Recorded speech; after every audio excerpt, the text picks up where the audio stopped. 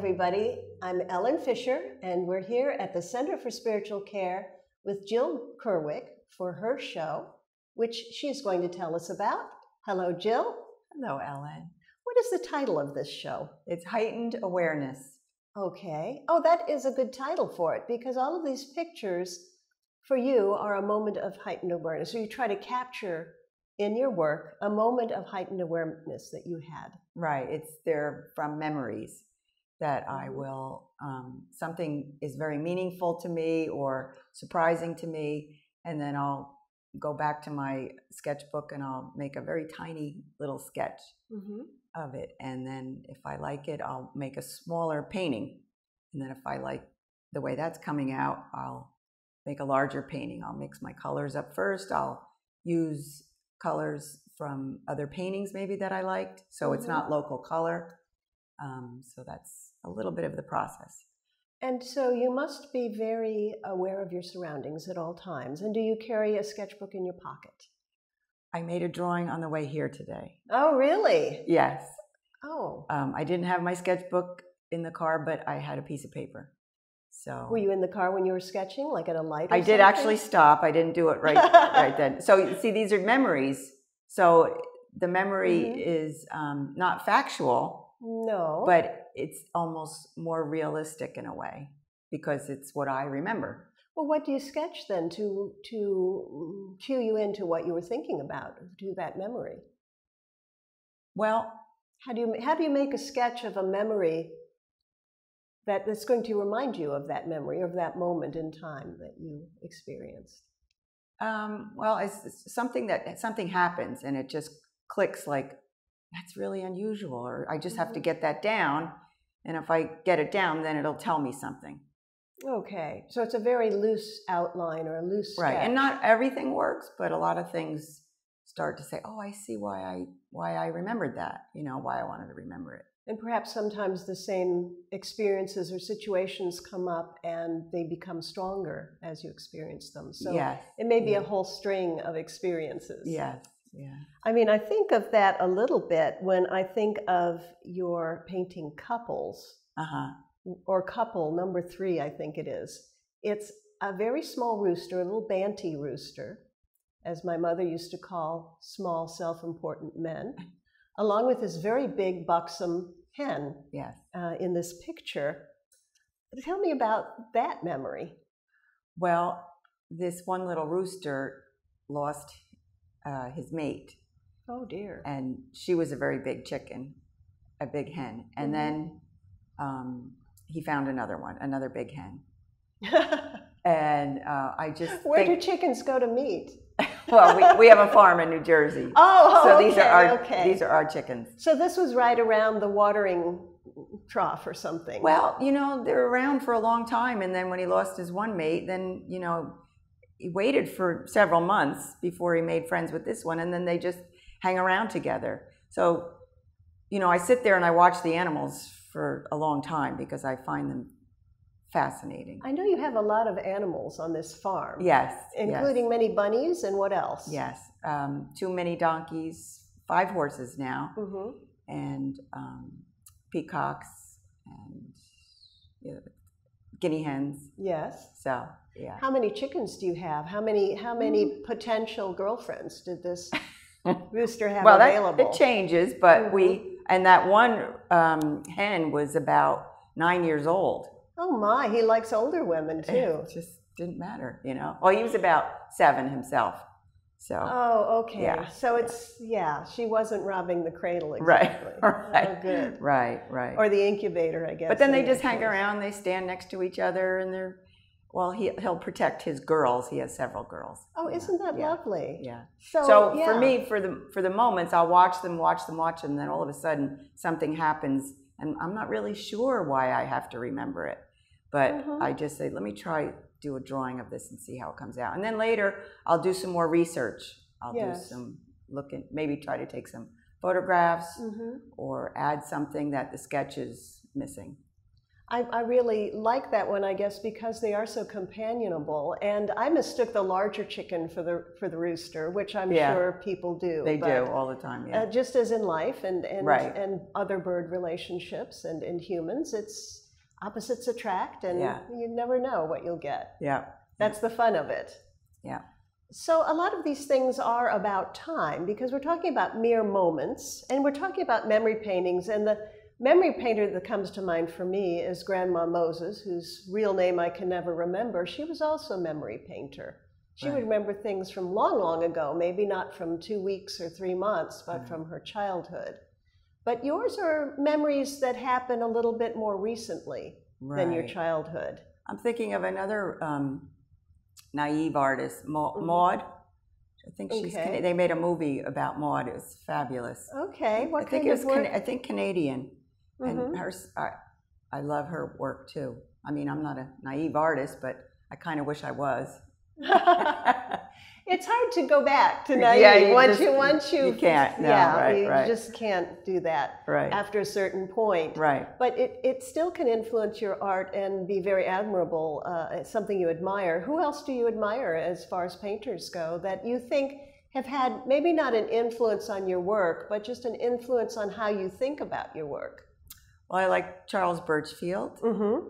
I like Fairfield Porter, Maureen Gallace, um, contemporary artists I see on Instagram that mm-hmm. are in their 20s. I, mm-hmm. I find I collect art off the computer. I keep it in a folder. So I just take a screenshot and then I have a folder of a thousand pieces of art. Mm-hmm. So, and I categorize them either by their, by the artist name or by inspiration or by color. Mm-hmm. So I like Bonnard. I'll steal his palette, yes. some his palette from his painting sometimes. The artists whose name I'm names I'm recognizing do have sort of a playfulness about them. Uh-huh. All of the the ones that you were mentioning that is a little bit. Um, not naive, but but naive in a good way, childlike, right? Or, or playful. I think playful is the best word. Interesting, yeah, yeah. yeah. Well, one another playful thing, and I think good example of how you do a small painting first and a large painting later would be Gustav. We have a 10 by 12 inch painting in here and a 30 by 30 inch painting. So let's look at the smaller one first because that's the one you did first. Right, right. And why? Well, it happened, I was on a beach mm-hmm. in Costa Rica and it, it happened, this little bird came by it was not in the scene that you see now, but um, it's sort of the way I remember it because, you know, my head moves around. So I'm looking at the ocean and then I'm looking at the bird. and so my mind put it all together. Exactly, yeah. And so that's how I remembered it. So maybe I'm always composing a picture because I'm so influenced by movies and I look at art all the time. Mm-hmm. And so mm-hmm. maybe I'm constantly composing and trying to make what I wanted to remember it to be. To tell the story of right, where you were. Right. And, and then the bird, the title is from a friend of mine had a bird that would come to her window all the time. And mm-hmm. she has a cat also in the house. So the cat would jump up on the counter and the bird taunting. So okay, then she yeah. would name Gustav because the birds um, are birds of habit and they always come to the same place all the time. Mm-hmm. So she called him Gustav because my friend is German and she picked a German name. And what kind of bird is this called? It's a kiskadee. A kiskadee. I, I think that's a beautiful name for a bird. It's a beautiful bird with all the yellow. It's just. And that's a male bird, I suppose, that you have shown us. Or I are the females know. and the I male quite look, similar? I think they're very similar. Oh. I think the oh. size is what differentiates them. Oh, okay. Well, let's look um, if uh, at the larger painting. Now, what is the difference? I can't see much difference in these two paintings. The the larger 30 by 30 little bit different yeah, 30 proportion. by 36. It's, oh, 36, yeah. it's the same It's the same proportion, so me. I scale it up one inch to three inches. Mm-hmm. And um, sometimes that's a real surprise, like with, with the zinnias, it's a big surprise because the zinnias are actually larger than life size. Mm-hmm. But um, with, and the bird, of course, is larger than life size. Yes. Um, but the difference is maybe subtle because mm-hmm I'll um, maybe ch- change the value of the color or I'll change the warmth or the coolness Mhm. of the color Mhm. to make it more to my liking. I suppose that too that a strong memory is always larger than life than it was in life. And perhaps if something really tickles your fancy as a small painting, Right. you're you're willing to make the leap into the larger one because the memory needs to be big. Yes. Everything in it about it should be big. Yes. There's something very cinematic about your your paintings as well, and you just mentioned film and the movies composing sets and things. I think one of them would be 5:30. 5:30 is it just 5:30 or 5:30 p.m. is the title of the painting. Right, right. I guess it's 5:30 p.m., but it's I just titled it 5:30. Um, wh- where that memory came from, I was down in Costa Rica, and the they have they don't have uh, a gloaming. hmm They have such a short peer window because it's so near the equator that Oh. the when the sun goes down, it happens quickly. It just bang. Yes, and so you you have to catch that moment in your mind and at right at that time.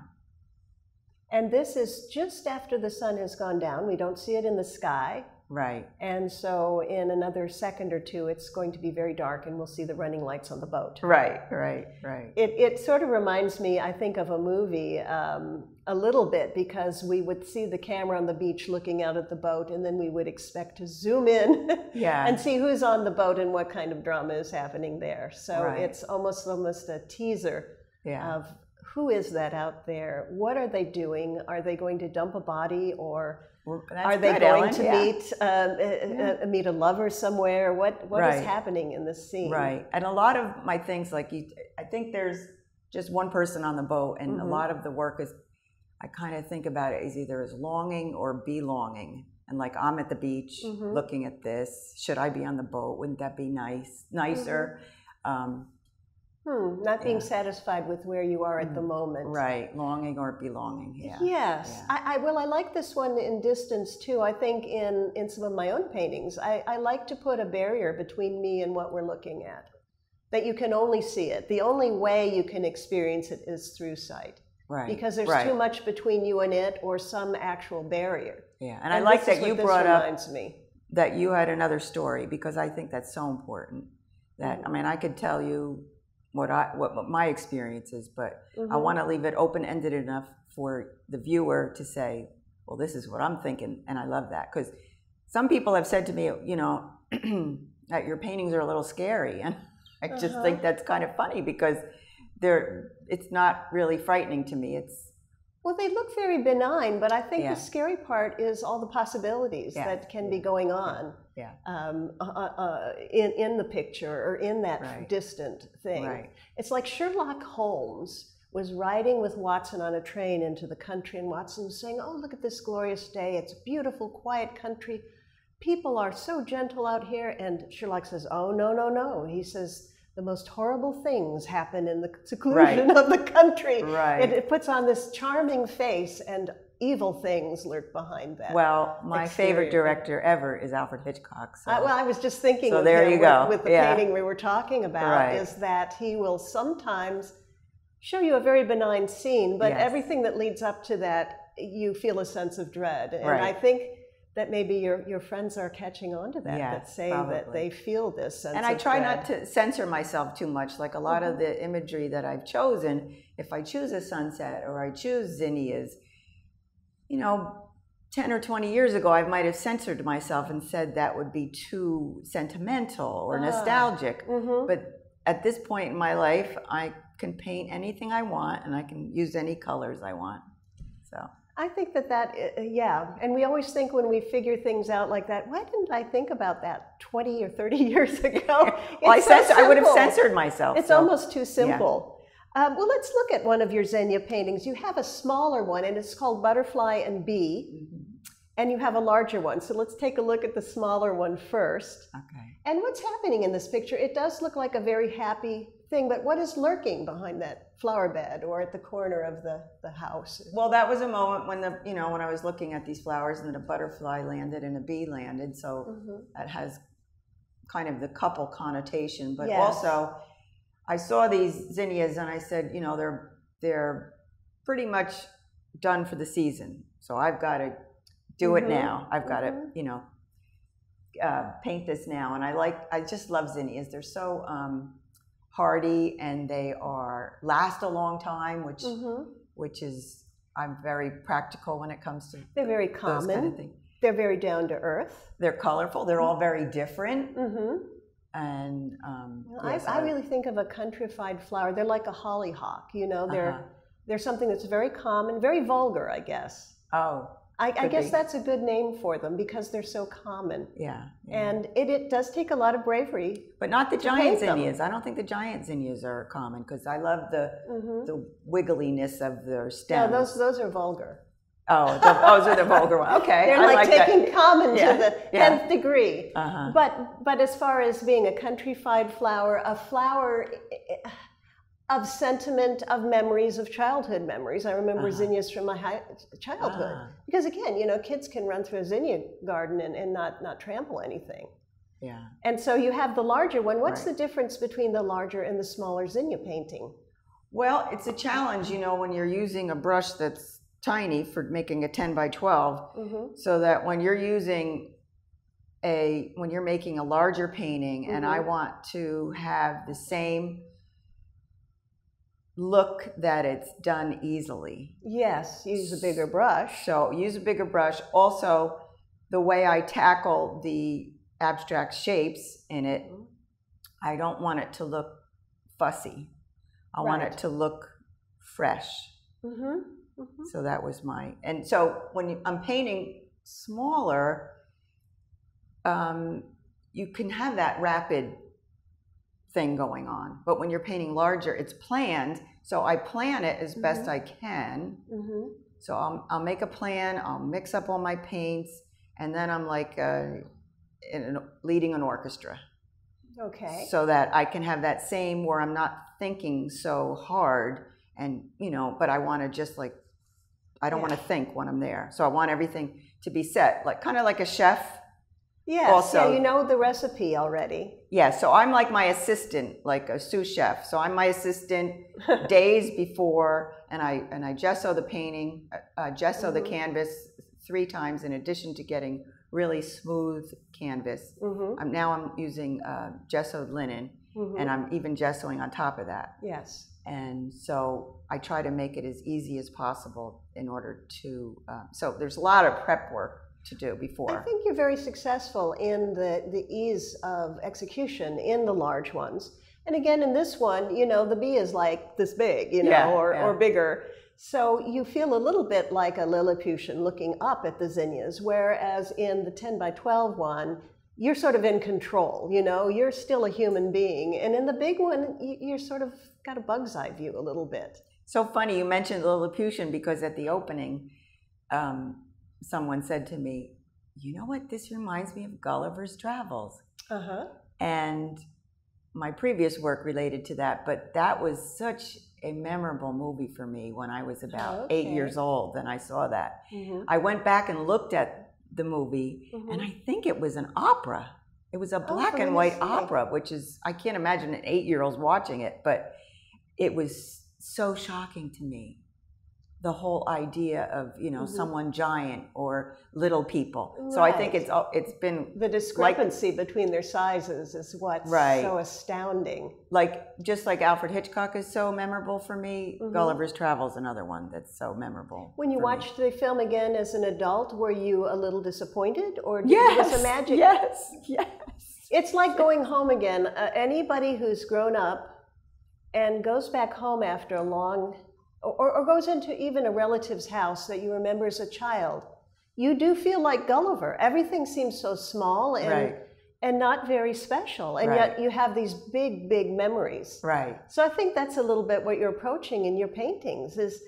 how do you take something that's small and make it really have a lot of impact, a lot of memory. And I think the cleanliness of your style Hmm. in working and uh, it is really good too because it's like a, a sharp, clean memory, much better than an actual memory, which is all fuzzy around the edges. Right, It, it, it has a lot more power to affect you. Hmm.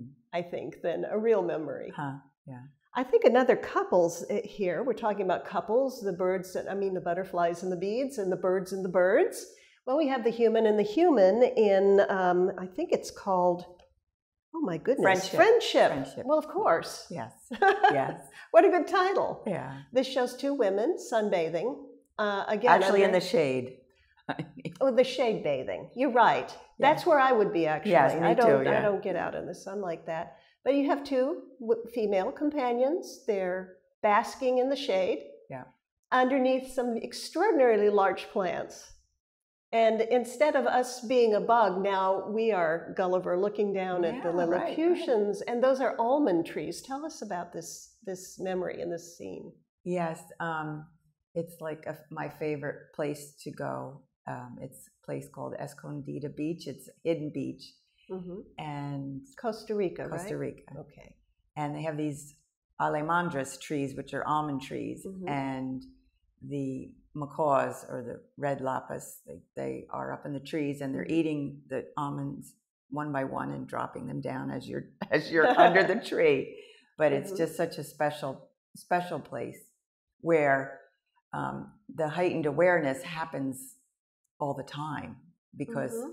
I'm it's like I'm more relaxed. There's not as much stimulation as there is sometimes, Mhm. especially in New Jersey or New York or Florida. It's a lot more distractions, right? Yes. Um, I don't watch television down there. I Mhm. don't, you know, there's a lot of things I, I read every morning religiously hmm and I read so much and I think, well, why don't I do this more at home? But there's so many more distractions. And I'm in the Yes. car more here.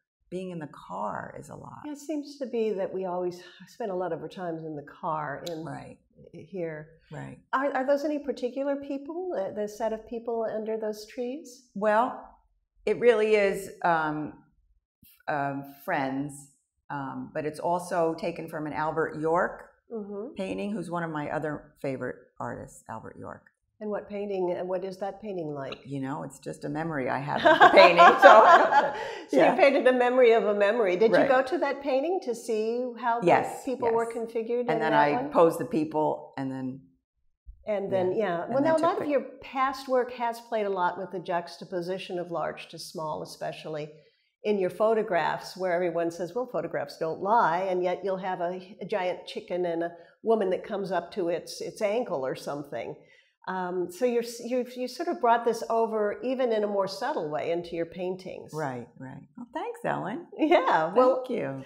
uh, the, one more I want to talk about is the one called Endless, which is Uh-huh. behind me. And I insist that that's a self portrait. Okay. Is it? Yes. Okay. you didn't admit it when we were, were talking. Well, it's really. I try to be more universal in my work that it would stand for woman or stand for person. So Mhm. Well, it does. It does do Yes. that. But I guess since I know you and I know what you look like Right. from the back, okay. so why is it endless? We have one that's a very specific moment in time, which is 5:30. Why is this one endless? Um, because it's en- it's an endless pool and it's also looking out into the horizon. hmm So I thought that was It's one of those mem- moments in which you feel eternity. yes. It's all around you, Yeah. stretching out. And it, it only lasts for a second, but Right. you do have that feeling. Oh, good. Thanks, Ellen. It's nice to know what that feels like, isn't it? Yes. Uh, You feel a little special. I suppose other people feel like that. Do you think? Yeah. Do you think that some other people have these same feelings, or would elicit, these paintings would elicit those feelings? I I I hope so. I figure every do, everyone does, but Well, I do. So yeah. I guess it's well, working. artists. Yeah. It's working. Okay. Well, thank you for talking today, Jill. This this is a wonderful show. Thank you, uh, Ellen. Always good to talk with you. Thank you very much. Okay. Again, this is Ellen Fischer with Jill Kerwick at the Center for Spiritual Care. See you later. Bye.